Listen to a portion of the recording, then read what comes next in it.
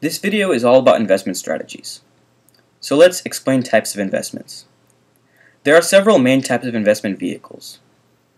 Common stock is a unit of ownership a company entitles to the owner and gives them voting privileges.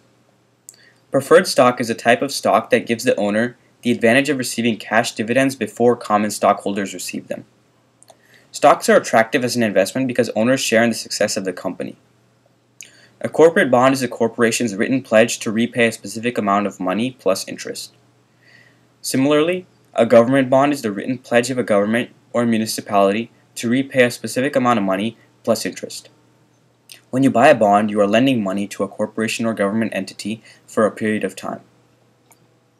Mutual funds are investments in which investors pool their money together to buy stock, bonds, or securities.